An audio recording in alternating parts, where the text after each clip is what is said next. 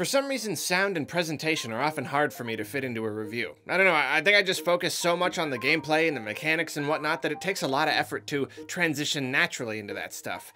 How fortunate then that we've got an entire chunk of this review to talk about it without interruptions. Because oh man, I gotta tell you guys, Breath of the Wild is a pretty game for both your eyes and your ears. But let's start with eyes. Nintendo is used to using below par hardware in order to provide a more affordable console. They've been doing it for over a decade now. They're also used to getting the absolute most out of their hardware in both technical and artistic terms. Breath of the Wild is a classic example of art style winning out over sheer graphical power. Because honestly, on paper, the game ain't much in the graphics department. Character models are a little simplistic, and they use that Wind Waker-esque style of cel shading, so they don't have as much texturing or detail. There are no dazzling particle effects or anything like that. Very little of the game's visuals could be considered complex, maybe outside of the humongous divine beasts or something.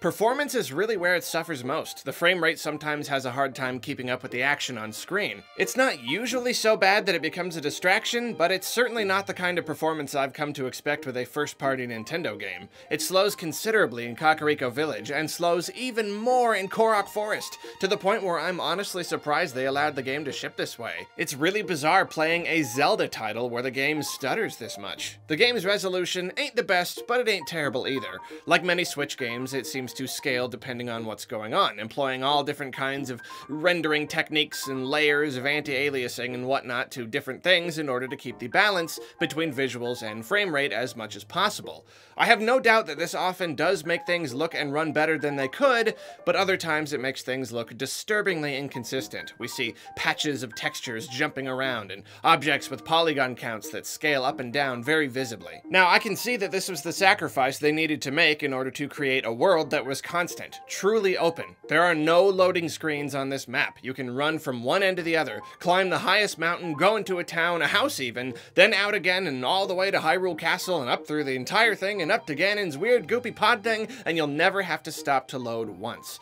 It really is impressive. And with a world this big, you want to be able to see as much as possible from a distance without pop-in, which means just about everything is always rendered in some fashion if it's visible to you.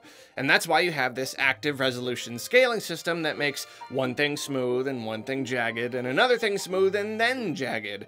It also makes the landscape, in a way, a little less pretty than it probably could have been. It's certainly pretty for reasons we'll talk about in a bit, but if you saw my first impressions video, you'll remember that I found it a little more muddy than I expected. Distant mountains just look a little bit yucky when you look at them long enough, like when you really focus on them. And let me tell you now, all this bad stuff is leading up to a lot of good stuff, and again, this was all done in order to achieve that complete openness, that ability to look at everything from any angle. They didn't have the benefit of pre-rendering a bunch of perfect picturesque landscapes, and that's of course a very fine trade-off. It means the game performs the way they wanted it to with little to no pop-in.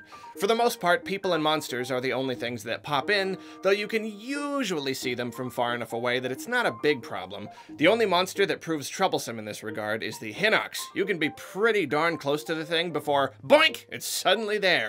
And this is of course more of a problem because the Hinox is the biggest baddie in the game. You always want to be able to plan where you're going and know for the most part what you'll find when you get there, but Hinoxes can sometimes surprise you. At least they're always sleeping, so you know, they won't see you unless you run up real close. But seeing one of their big circular sleeping spots ahead of you for ages before the game decides to populate it can be jarring. Enough of that though, despite the game's visual shortcomings, it's still positively gorgeous. Even if no single piece of it is technically impressive or particularly sharp, all the elements combine together to paint one very beautiful picture. It really is much like a painting in that regard. Up close the brushstrokes can look pretty rough and nothing is very finely detailed, but when you step back it all comes together because the artist knew exactly how to achieve the overall image they wanted using all those individual pieces. If there's one single most important element that makes the game look so good, it's probably the lighting. I mean, Breath of the Wild single-handedly taught me how huge good lighting can be in a game. You spend so much time out in the wilderness, running around under the sky, so that day-night cycle is ever moving, and no matter what time of day it is, you're treated to a visual feast. Cloud cover is basically constant, so you never get plain old bright sun shining on a blue sky. You get beautiful shades of color that paint the world differently depending on where the sun is or where the clouds shift. Rainy weather has never felt more real in a Zelda game. It's never done so much to affect the atmosphere. Running through moonlight is simply stunning, and if you happen to find yourself in view of the ocean when the sun comes up, it's a particularly splendid sight. It doesn't matter how many times I see it happen or how long I play the game. When that sun starts to come up, I stop and I take a moment. I watch the light grow on the horizon, delighting in the vibrant colors as they fill up the sky. And speaking of colors, part of the reason the lighting is so effective is the game's use of a very soft color palette. Gentle greens and browns and yellows make up the bulk of what you'll see in the world above. There are some times when I do miss more vibrant colors. Whenever I use Breath of the Wild footage in a video, I've got to crank up the contrast a good few notches to make it pop a little more on screen. Last gen, the game industry fell into this weird thing where everything was really brown, and I've really appreciated recent efforts to use the full color spectrum. I mean, look at something like Horizon Zero Dawn. It's gorgeous. However, Breath of the Wild's minimalistic use of color helps achieve two things, and in fact, these are two things that the game does on a broad scale and that run through every aspect of its presentation and sound design, as you will soon see. Sticking to the subject of color for the time being, though, the first thing is that the game has this theme of age, of, uh, of history. I can't exactly think of one word to describe it, but it elicits feelings of time gone by. The soft color makes it look like old film or an old photograph or a painting. It feels like it comes from a time when people just didn't have access to bright, high contrast colors in visual mediums. This is a reflection of the state the world is in. Hyrule was ravaged by Ganon's forces so long ago, and much of the game is about tapping into the past, recovering memories, accomplishing tasks that others couldn't a hundred years ago. Time has passed but in terms of civilization, the world hasn't really been able to move on and completely heal. It's basically just as it was back then, much as though it were a photograph. The other thing the game is going for, and that is very much supported by the color palette, is establishing atmosphere. Now, the interesting thing here is that up until now, atmosphere in a Zelda game pretty much meant one of two things, happy or scary. The atmosphere being established was either the bright, happy cartoonishness of Wind Waker and a few others, or the dark, eerie foreboding we saw in games like Majora's Mask Twilight Princess. But Breath of the Wild is different. The atmosphere it creates is one of serenity. It's relaxing, it's peaceful, it's beautiful.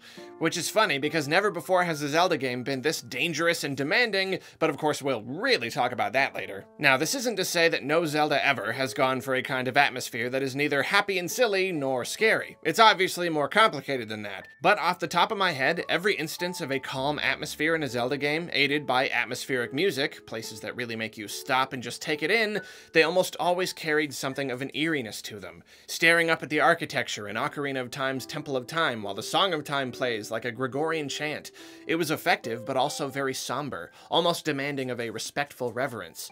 The snowy area in Twilight Princess, it's serene, but danger lurks just beneath the surface. Strange wolves are stalking you, you're chasing a monster, you don't know what you'll find up on the mountain. The list goes on. To my knowledge, the Zelda team has never zeroed in on the sheer beauty of the world and of nature itself as they have in Breath of the Wild. At the very least, they've never featured it as a theme that runs through an entire game. Ganon tried to conquer the world. There was a huge war, tons of people died, entire villages were destroyed, there was fire everywhere, it was a gigantic mess.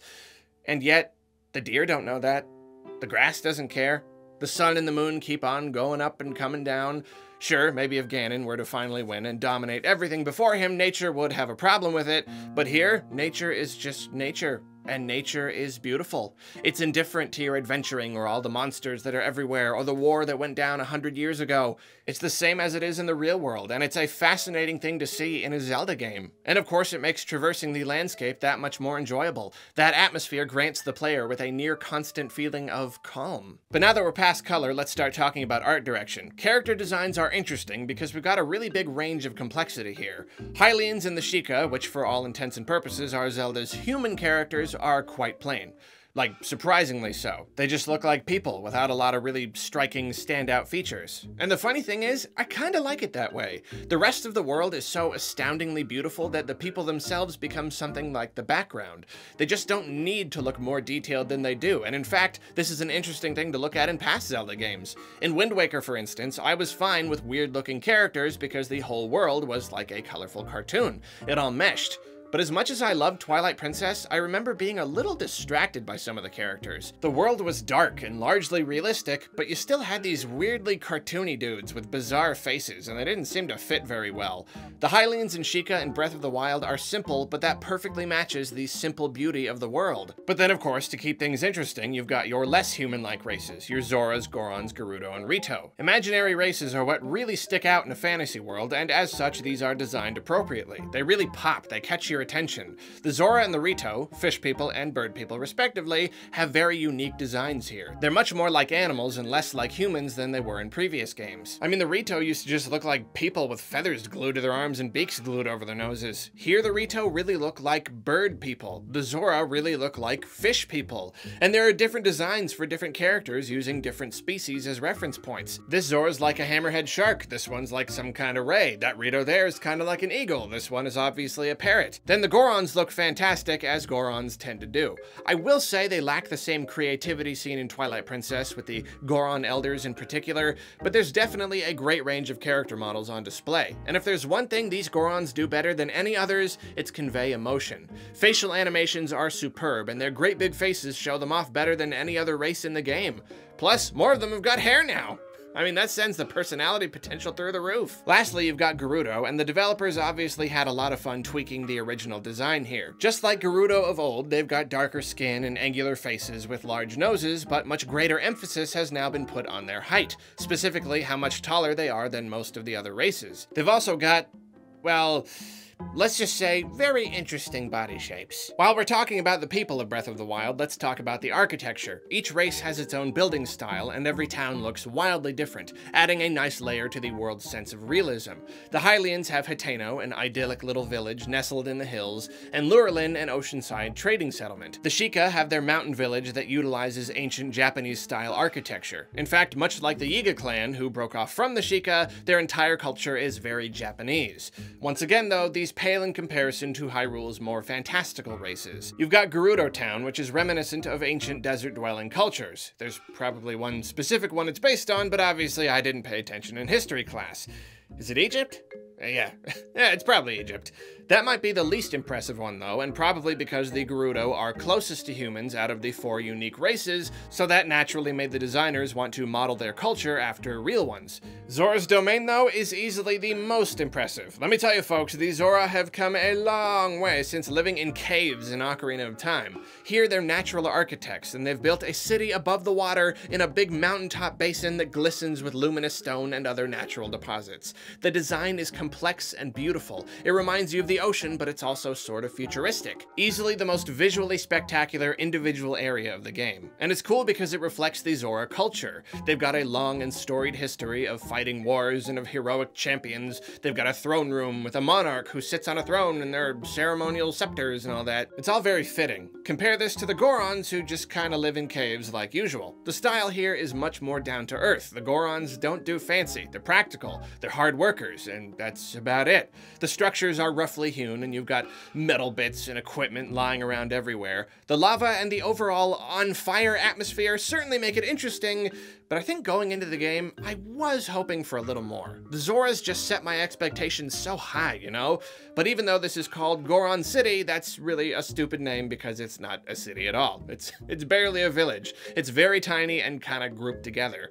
I was hoping for some staggering mountain city with all sorts of levels and stuff to check out like in Ocarina of Time, but I will certainly say this way still works perfectly, and in fact, it's much more in line with what I would expect of the Gorons. It's not even a real gripe, uh, just a little detail the kid in me was hoping for. And lastly, we've got the Rito, who, just like the rest of the races, live in a place that perfectly represents who they are. The Rito are bird people, first of all, and they're also very quiet and dignified. Their village spirals up a huge rocky pillar and consists of nothing more than stairs, landing platforms, and small wooden huts. The whole thing is very modest in terms of architecture. Even the Rito elder lives in one of these little huts, the singular difference being that his is at the top. You can observe the people here living peacefully, most often indulging in quiet reflection, obviously enjoying the view of the surrounding landscape that their towering town affords. Zora's Domain blew me away with its architecture, but on a more personal level, Rito Village might be my favorite. I won't try to claim that it's as spectacular, but looking at it from a distance and being in it just makes me feel happy. It establishes such a great mood, and it's the only town in the game game that has its own sort of shape that you can see from the distance, you know? Especially when Va perches on the top, it becomes a very unique landmark. So that's all the architecture that the currently alive people of Hyrule built and are currently enjoying, but perhaps even more interesting is the stuff that's been left behind. Ganon was stopped from completely destroying the world a hundred years ago, but it was a close thing. The vast majority of the world's structures have been reduced to rubble, and you can find these relics of the past everywhere. And this, of course, ties in both with the theme of age and with the atmosphere the developers were trying to establish.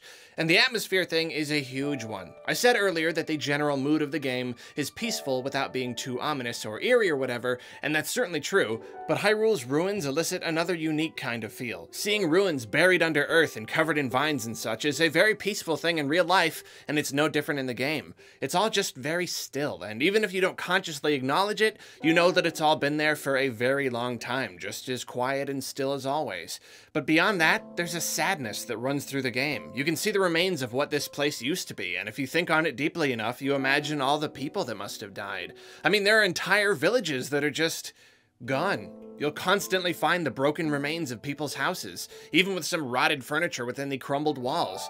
You have to wonder if these people got out in time. I was bummed that I didn't discover this on my own and had to hear about it online, and if you haven't figured it out yet, it's doubtful that you will, so I'm mentioning it here. There's a spot out in Hyrule Field called the Ranch Ruins, and if you look closely, you'll notice that the layout directly matches that of Lon Lon Ranch in Ocarina of Time. Obviously, because of what we know of the timeline, these aren't actually the ruins of that exact version of Lon Lon Ranch, but the callbacks still made me really stop and think when I went and checked them out. It was legitimately heartbreaking to look at the rubble and remember remember how it once looked. These weren't quite as emotional for me, but Hyrule Castle and Hyrule Castle Town are also very sad. This was once the heart of Hyrule, and this heart has never been depicted so grandly as it is here in its destroyed state. The castle is gargantuan and beautifully constructed. Even ruined and crumbling and covered in black gunk and crawling with baddies as it is, it's a sight to behold, and the sheer size of it once more reminds you of just how many people once lived within the walls. In addition to ruined structures, there are also remnants of the war scattered throughout the land. I can't stress enough how important this addition is to the feel of the game.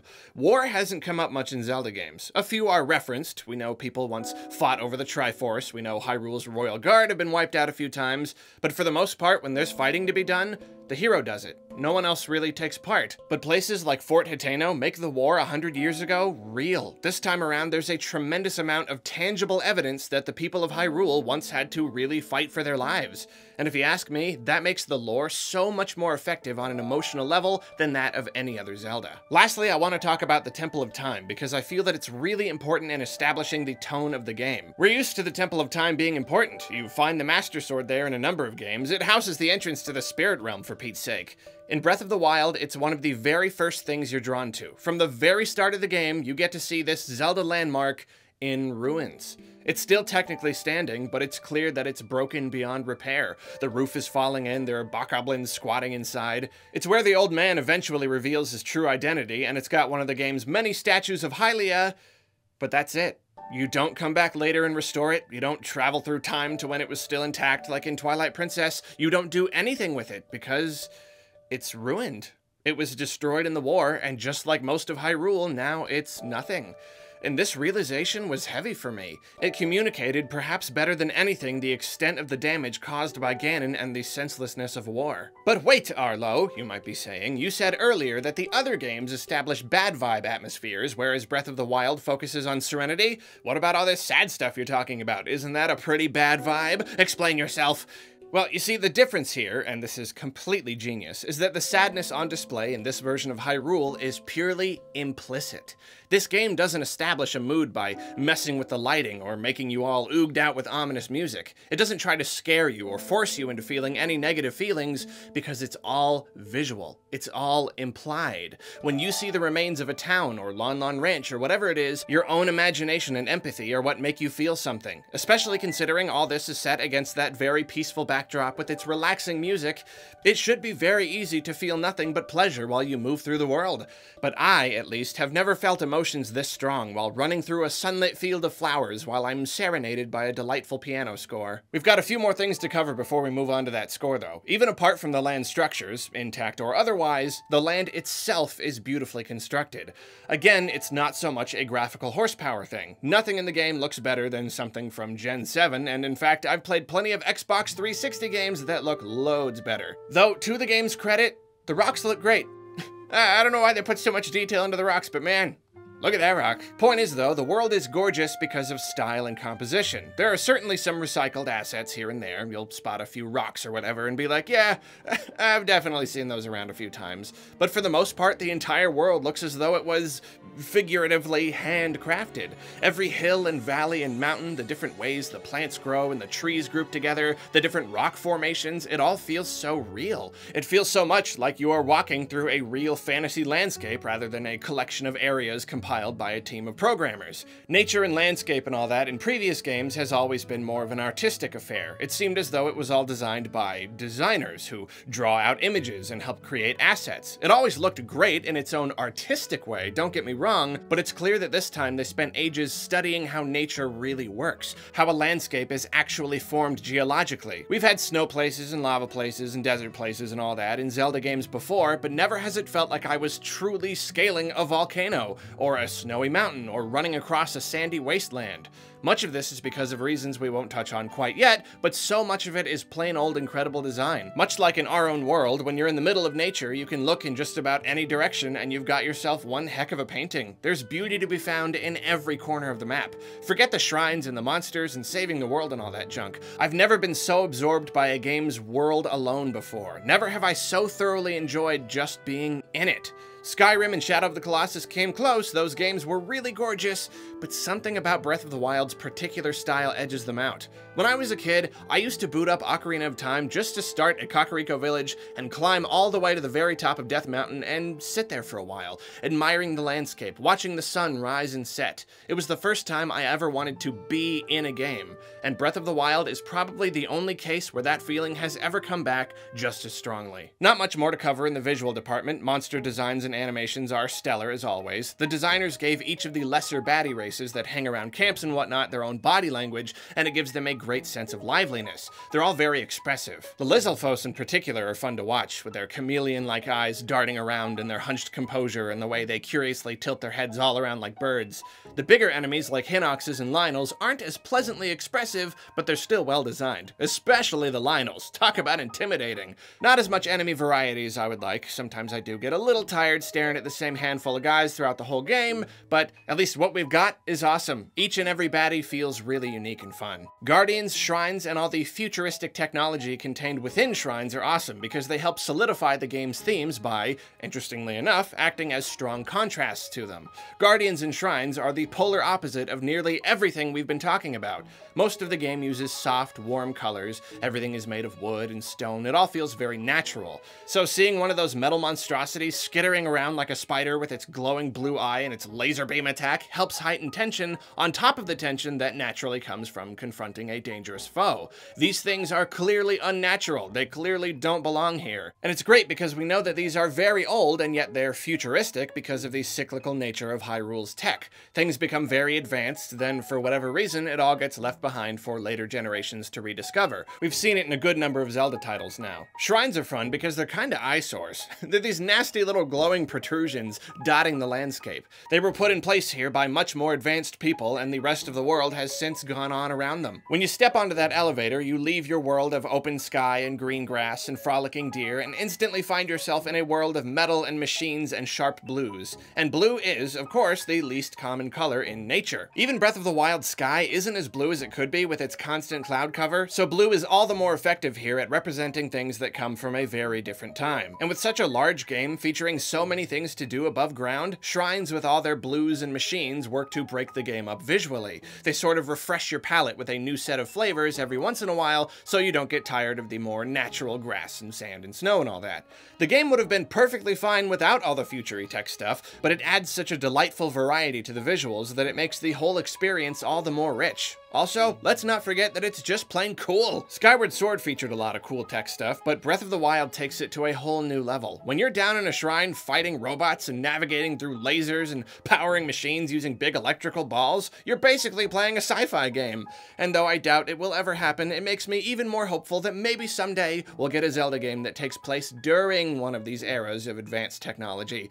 Cyberpunk Zelda. I want it so bad. Finally, we come to music and overall sound design. I don't have too much to say about the sound effects because this is a Zelda game. Even all the way back in Link's first 3D outings with sound as limited as it was on the N64, the game sounded great. These guys know Foley work and they know how to perfectly blend it all into their games and make it sound very natural. Breath of the Wild is of course no exception. There are thousands of different sounds subtly layered into the game and it's all so natural that it's easy to forget that this is a game you're playing. That when Link performs a certain action, that action only makes a noise because someone recorded a noise and stuck it into the code and told the game exactly when to play it. It feels like it just happens on its own. Like, yeah, of course it makes that sound when Link puts away a weapon or throws a rock or whatever. The music, though, does deserve a bit of a closer look. Like most things in the game, it matches the two main themes, age and serenity. For the first time ever, the piano takes center stage, versus other Zelda games which have most prominently featured more traditional orchestral instruments such as horns and violins.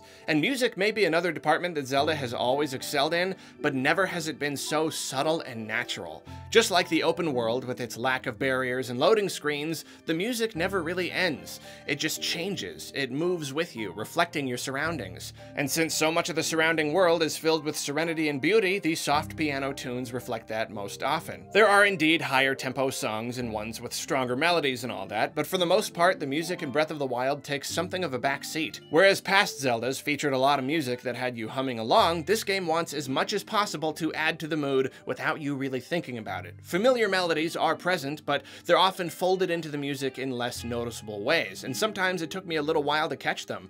And while sometimes I do miss having the more prominent tunes around, I can't deny the effect this style has on the game's atmosphere and feel. The developers already achieved so much in the visual department, and the music just ties it all together beautifully. It's the sort of thing that I imagine took a long, long time to experiment with and put together, as there are any number of elements that could have broken the mood if done just a little wrong. And like I said, the music also ties into the age theme. This is pretty interesting, and I'll admit, maybe this wasn't intentional at all, and I'm the only one that feels this way, but a lot of that has to do with the use of the piano. From our perspective, the piano and other orchestral instruments were all invented hundreds of years ago. They're old, basically. All of them, in theory, should be able to convey a sense of age. They're almost exclusively used to score movies and shows and games that take place in the past, at least in the Western world, but Breath of the Wild uses its piano in a different way. Instead of emulating the long ago days of grand classical music, it sometimes emulates a more recent time. More frequently being used as a solo instrument versus violins and horns and all that,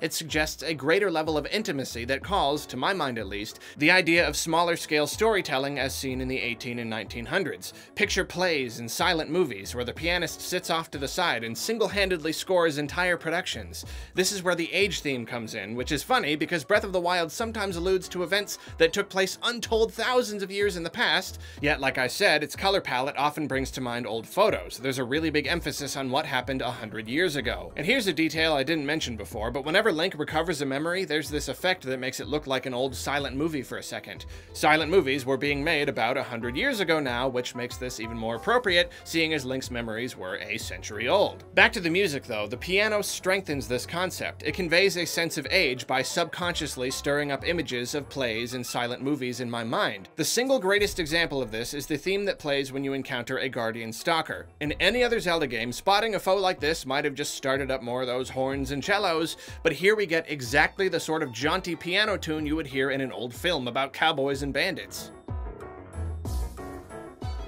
Imagine an old-timey melodrama where a mustache-twiddling bad guy ties a helpless gal to the railroad tracks. Or imagine a kid up on a stage running around in a Guardian costume while their teacher pounds on the piano off to the side. That's what I think of when I hear the Guardian music. Now, the whole theme does include more than just the piano. It has a handful of futury touches, and there's a violin in there helping carry things along, but that piano is at the forefront, especially right at the start when one of the things first spots you. That five-note motif just pounds away repeatedly, and they could have easily ditched the piano entirely entirely and use nothing but futuristic music here, like the kind they put down in the shrines. These Guardians are way, way older than just a century or two after all, yet they tie into that story of a Hyrule at war from a hundred years ago, and because of my subconscious associations with that kind of piano tune, they feel like they fit more with the theme of age than if the style had been purely futuristic or even something actually older like a regular orchestration. Perhaps it's because I'm so used to futuristic themes being tied to big robots, or maybe I'm desensitized to traditional orchestral orchestral music, I don't know, but this unusual style is really effective. It makes me imagine how a hundred years after the events of Breath of the Wild, people will be telling each other stories about how Link fought the Guardians. Finally, one more notable thing Breath of the Wild does in the music department is using very ambient sounds and instruments. Plenty piano, as we've established, and plenty of instances of more traditional instrumentation as well. But listening through the soundtrack, I'm amazed by how much of it truly falls into the ambient category, like the kind of stuff you hear in various genres of ambient music. Sounds that you can only get using a computer to generate waves and shift and stretch stuff in all sorts of weird ways. This naturally adds hugely to the serenity, and the fact that it's a pretty new thing for Zelda games increases the impact it has. Its otherworldly nature lets you know that you're playing a very different kind of Zelda game. And the funny thing is, despite how awesome I think it is, it took me a long time to notice. It's extremely subtle, and sometimes when music complements gameplay and a game world perfectly and helps establish just the right mood, I don't even notice that it's there. It affects me even though I'm not really thinking about it. And I tell ya, that is the mark of an awesome soundtrack right there. When taken as a whole, Breath of the Wild's presentation is really something else. It's easily the most ambitious Zelda in terms of how much love and care and time went into it, and how it all ties together. It's the most stylistically cohesive by a wide margin. The atmosphere it establishes is something truly special, and never have I played a game that made me stop and marvel as often as this one does, even on other more powerful systems. The dev team made so much out of relatively little, and more than ever, they've shown that yes, these games are art, and yes, the people working on them are artists.